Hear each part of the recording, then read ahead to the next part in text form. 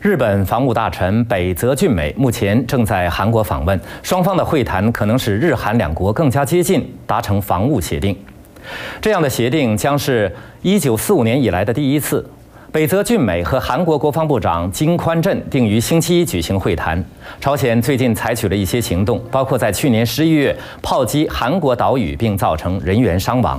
在这种情况下，日本和韩国将讨论加强两国之间的合作问题。预计双方还将讨论两项尚未签署的关于交换情报和军事物资的协议。美国武装部队最高将领海军上将马伦在最近访问该地区期间，曾呼吁日本在保护韩国免遭朝鲜袭击方面发挥更大的作用。但是，与日本结盟的问题在韩国仍然存在争议，许多韩国人对日本当年的残酷殖民统治耿耿于怀。